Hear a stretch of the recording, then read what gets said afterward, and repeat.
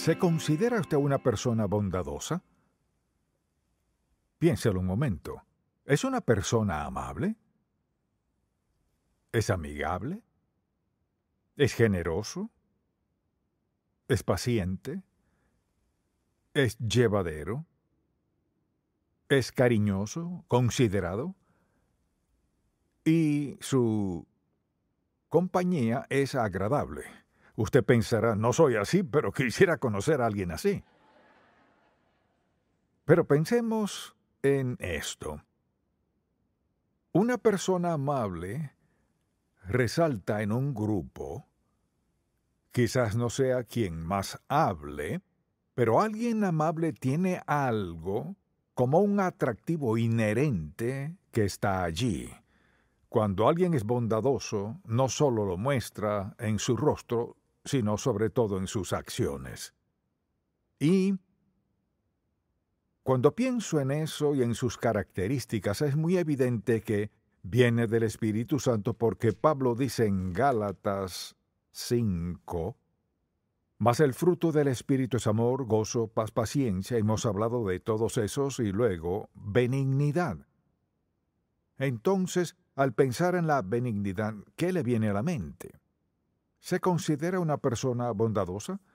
Puede que sí o puede que no, pero Pablo también dice en uno de mis versículos favoritos sobre la benignidad, y está en Efesios 4, versículo 32, dice, Antes sed benignos unos con otros, misericordiosos, perdonándoos unos a otros, como Dios también os perdonó. Sed benignos unos con otros. Luego dice Pablo en Colosenses 3, Vestíos pues de benignidad.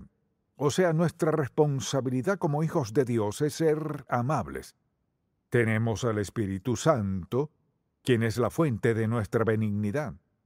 Así que el fluir natural en nuestra vida para quienes nos rodean debe ser esa bondad y todas esas características que mencionamos, amigable, generoso, paciente, llevadero, considerado, cariñoso, pregúntese, ¿sería eso cierto de mí? ¿Lo verían sus hijos como alguien amable? ¿Su esposo o esposa le ve como alguien amable? Quizás digan, bueno, muchas cualidades, pero la amabilidad no es una de ellas. La benignidad es una cualidad muy propia de Cristo. Y no se habla mucho al respecto, pero Pablo dice que es fruto del Espíritu, o sea, cuando el Espíritu Santo es libre para vivir en nosotros, el fruto que Dios quiere que viva, benignidad, será uno de ellos.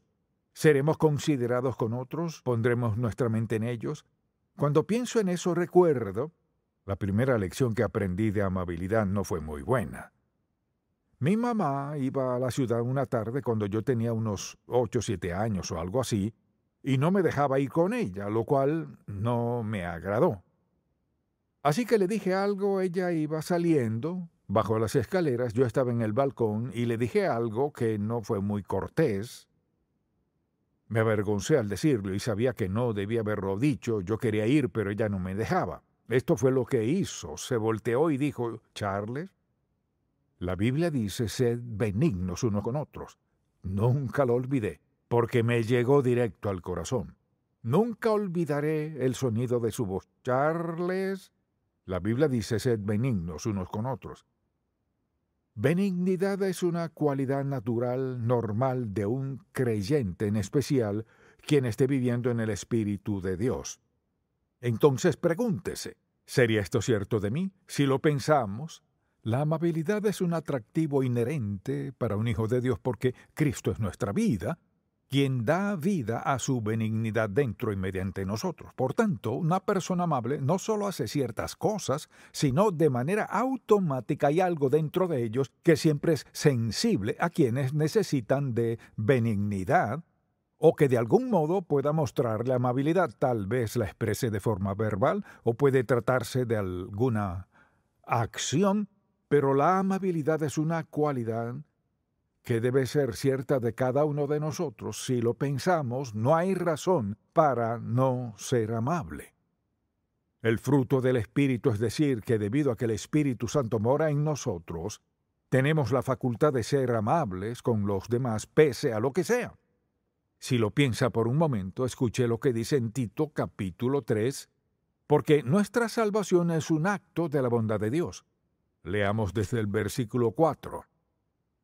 Pero cuando se manifestó la bondad de Dios, nuestro Salvador, y su amor para con los hombres, nos salvó, no por obras de justicia que nosotros hubiéramos hecho, sino por su misericordia, por el lavamiento de la regeneración y por la renovación del Espíritu Santo, el cual derramó en nosotros abundantemente por Jesucristo nuestro Salvador. Esta es una de las expresiones del Espíritu Santo en nuestra vida, es ser amables. Así que si alguien dice está lleno del Espíritu Santo y dice sí, tiene derecho a esperar que sea amable. No significa ser amable en cada ocasión sin excepción, como un osito de peluche, no. La amabilidad también es fuerte, porque reacciona con bondad incluso en situaciones difíciles. Entonces pregúntese, ¿sería considerado amable? Y luego, por ejemplo, en Romanos veamos el capítulo 2, el versículo 4, dice respecto a la benignidad en el capítulo 2, versículo 4 dice, o menospreciáis las riquezas de su benignidad, paciencia y longanimidad, ignorando que su benignidad te guía al arrepentimiento? O sea, nos arrepentimos de nuestros pecados por la bondad de Dios, benignidad, amor, perdón, todo lo demás, todos los frutos del Espíritu. Entonces, ¿se considera una persona amable? Si vive con alguien descortés, vive con una carga vive con alguien que le maltrata, que le dice cosas feas, hace todo lo que haría la descortesía, eso es muy difícil. ¿Y qué es más difícil que seguir siendo amable en la circunstancia en la cual no se ve benignidad por ningún lado? Es muy difícil. Le diré algo más. Dios recompensa nuestra amabilidad. Recompensa nuestra benignidad. Y mientras más difícil sea la situación si somos amables, Dios recompensará nuestra bondad. He visto eso suceder una y otra y otra vez. Entonces, alguien dirá, bueno, ¿qué de la gente que lo trata mal a uno y dice cosas terribles de uno? ¿Uno tiene que defenderse? No necesariamente. Y recuerdo en una oportunidad me sucedió eso, alguien me las cantó y me acusó de algo que era absurdo. Sabía lo absurdo que era, así que me quedé allí y dije, Luego, cuando terminaron, pregunté, ¿hay algo más? allí cayeron. O sea, no se pelea con la bondad. ¿Cómo se pelea con la amabilidad? No se puede. Es un elemento conquistador de carácter. Ser amable cuando alguien es muy descortés con uno. La benignidad no es excusa para dejar que la gente haga lo que sea. Es una cualidad firme, vibrante, conforme a Dios ser amable. Pensemos pues en algunas muestras de bondad que Dios ha expresado hacia nosotros. Bien, la primera es, Dios nos perdona de nuestro pecado. Ni uno solo de nosotros podía hacer alarde de algo que haya hecho para ganar su redención. Así que Dios nos perdona, su segunda manera de expresar bondad es que suple nuestras necesidades. Considere con qué frecuencia ha necesitado algo en la vida, lo que sea, ya sea algo emocional, físico o material. ¿Y qué sucede? Dios en su misericordia, benignidad, bondad, ¿qué hace? Suple nuestra necesidad. Porque así es Él. Provee para nuestra salvación nuestras necesidades. También nos protege en tiempos de peligro.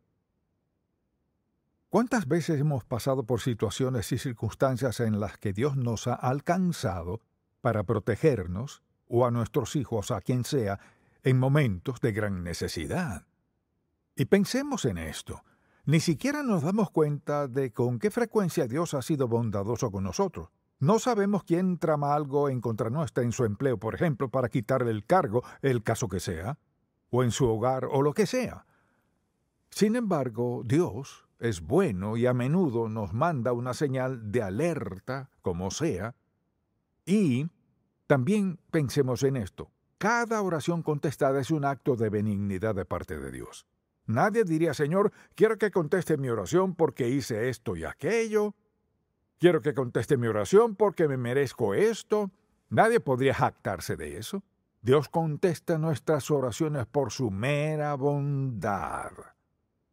¿Qué hemos hecho hoy lo suficiente para merecer la bondad de Dios? Nada.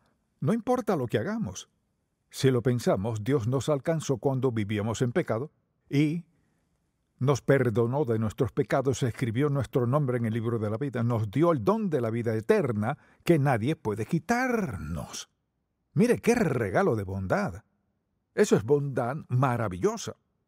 Recuerde que nos salvó consciente de que no siempre lo obedeceríamos, consciente de que a veces nos saldríamos de su voluntad, consciente de que a veces no seríamos consagrados, que a veces seríamos egoístas, a veces orgullosos, arrogantes, que a veces no seríamos aptos para convivir y que hizo, nos salvó, y preste atención, no solo nos salvó, sino que nos alcanzó para tocarnos con su mano amorosa, divina, sobrenatural y maravillosa, para guardarnos hasta el último momento de nuestra vida cuando nos llame a su presencia. Esa es su extraordinaria bondad.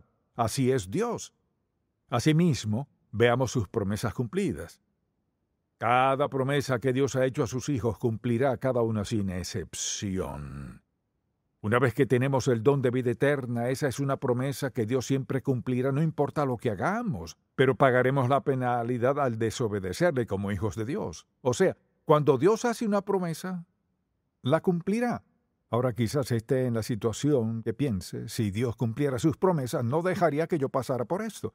Tal vez haya dado un paso fuera de su voluntad ¿Y qué está haciendo Dios? Cumple su promesa. ¿Cómo puede cumplir su promesa y hacerme sufrir así? Porque hizo una promesa. Prometió reprendernos por amor si lo desobedecemos. ¿Qué hace? Cumple su promesa. No hay un lugar en la vida donde Dios no cumpla su promesa. Y la gente pasa por grandes adversidades en la vida, a menudo, por no haber guardado su palabra, no haberlo obedecido. ¿Y qué hace Dios? Hace esto. Cosechamos lo que sembramos más de lo que sembramos después de sembrarlo. Quizás alguien diga, ¿qué de una promesa? Pues esa es su promesa. Si está sembrando una semilla maravillosa, le encanta eso, ¿cierto? Si desobedece a Dios, no le encanta. Pero es solo Dios cumpliendo su promesa. Es Dios siendo bueno. Ahora, quizás no entre en nuestra categoría de bondad. Quizás todos tengamos nuestra categoría de bondad y luego tenemos una categoría de la bondad de Dios que siempre es genuina. Pero Dios es bueno siempre. Cuando nos ocasionamos dificultades por haber desobedecido al gran dador de bondad, quien quiere lo mejor para nosotros. Claro, Dios se involucra de forma personal en nuestra vida. Piensen en esto. No solo Dios nos salvó, sino que nos envió al Espíritu Santo para involucrarse de manera personal en cada aspecto de nuestra vida. Se trata de un don de benignidad. Mucha atención, Dios está allí, sea que le obedezcamos o no. Dios quiere expresar bondad, le encanta mostrarnos su bondad. Ahora bien, ¿qué cree que pasaría si desobedece a Dios? Y todos lo hemos hecho si desobedece a Dios y dice, nadie es perfecto. Olvidémonos de eso. ¿Sabe lo que haría? Le despojaría de su fe en Dios, porque nunca sabría con precisión dónde está si Dios le dejara salirse con la suya con algo. Pero la benignidad implica veracidad, también disciplina e instrucción. Implica amor, mansedumbre, amabilidad y muchas cosas más. Así que todo es parte de ello y también la promesa de su presencia con nosotros. Escuche esto, no te desampararé ni te dejaré. ¿Acaso no es eso bondad? Ahora una cosa es que alguien más diga eso, pero que Dios lo diga, no te desampararé ni te dejaré y punto. No dijo excepto, sí, ni, pero, cuando, excepto, quién, no. No te desampararé ni te dejaré. La bondad de Dios es indescriptible, pero también es palpable, es agradable, es verdadera en nuestra vida, la bondad de Dios. Así que solo diría que nuestro estilo de vida debería ser una expresión de la misericordia de Dios. Ahora le daré varios pasajes para que los apunte. Proverbios 19:22 dice, Contentamiento es a los hombres hacer misericordia. Eso es Proverbios. ¿Qué dice? Que es contentamiento a los hombres la misericordia. ¿Qué dice del mundo? Musculoso, fuerte, apuesto, rico, encantador y todo lo que tiene el mundo. La Biblia dice que lo deseable en una persona es la bondad. Escuche, Proverbios 3:3. Nunca se aparten de ti la misericordia y la verdad. Átalas a tu cuello, escríbelas en la tabla de tu corazón. O sea, manténlos cerca de nuestra mente y nuestras acciones. Escucha esto. Nunca se aparten de ti la misericordia y la verdad. Átalas a tu cuello, no a tu tobillo, no a tu rodilla. ¿Por qué las ata a su cuello? Para tenerlas lo más cerca posible. Es decir, que sea lo primero. Átelas a su cuello, escríbalas en la tabla de su corazón, o sea, no basta con saber de misericordia, escríbela en su corazón. Debe ser parte de su ser, manténgala cerca en pensamiento y en acción. Luego en Primera de Pedro 2.3 dice, Si es que habéis gustado la benignidad del Señor, que solo significa experimentarla, ¿experimenta usted la benignidad de Dios? ¿La siente? Ahora, si no es amable, permítame decirle cómo debería sentirse con mucha convicción. Avergonzado de sí mismo. Debería sentir que debe ir a casa y confesarle a su familia que no ha sido la clase de padre o hijo o hija o madre que debe ser. Y que le pide a Dios que le perdone y a ellos que le perdonen. Que con su ayuda quiere comenzar a ser la clase de esposo, padre, esposa, hija, hermana, quien sea, quiere comenzar a ser la clase de persona que Dios creó que fuera. Ahora dirá, eso no es necesario. Sí lo es, pero requiere que sea un verdadero hombre para hacerlo. Una mujer de verdad para hacerlo. Decir no he sido amable contigo, en especial si le han maltratado. Decir solo quiero que sepas que no he sido tan amable contigo como debería y quiero serlo, si me ayudas, quiero ser amable. La amabilidad cambia su familia.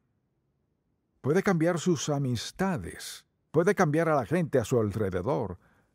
La bondad es un don de Dios, provisto por el Espíritu Santo, y somos los medios mediante los cuales Dios Todopoderoso habla misericordia con quienes vivimos, amigos, extraños, donde quiera que sea. Amabilidad. Ahora si no ha aceptado a Cristo como su Salvador, eso no funcionará. Porque Él da el don de su bondad a quienes son sus hijos, quienes lo han aceptado. Así que le animo a pedirle al Señor Jesucristo que perdone su pecado, su falta de bondad, todo lo que ha dicho y hecho, que ha herido a quienes le rodean, ya sea en su hogar, donde trabaja, donde juega, Pídale a Dios que cambie su vida de modo tal que al verle sepan que algo ha sucedido en su vida. No es la misma persona, porque Dios ahora expresa su bondad a través de usted.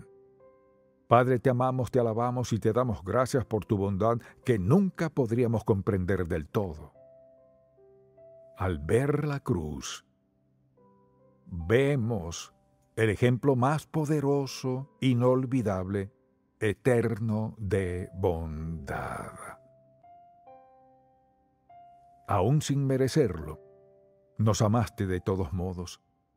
Te pido que el Espíritu Santo le hable a cada persona hoy aquí, a mi corazón y a cada corazón, para examinar, ¿somos amables en nuestras acciones? ¿Lo mostramos? Padre, examina nuestros corazones.